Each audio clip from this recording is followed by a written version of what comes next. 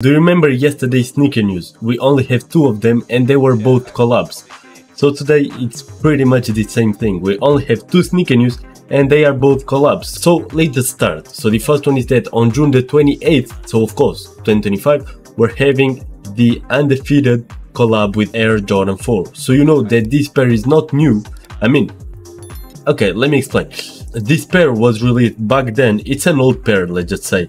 And this time in 2025 we're having a restock of it.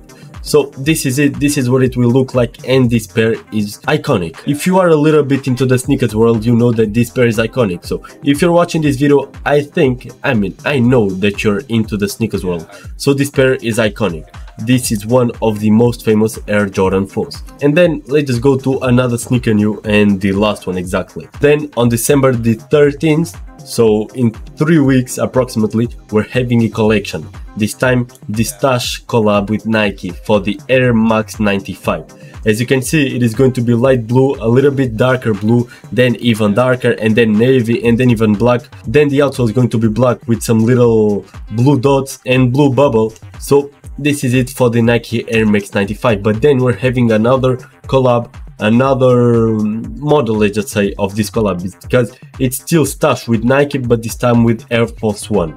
So it's pretty much the same the colorway is the same like it's blue it's the same blue that I said it's the same blue again that I told you the darker one even the darker one and then navy and then black.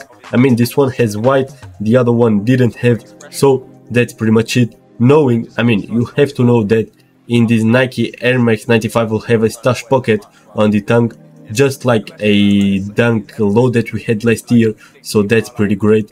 I mean that was all for today so i hope that you liked the video that you subscribe to the channel down below so we can find each other every single day. And of course it was a great but like great great pleasure to have you here. Thank you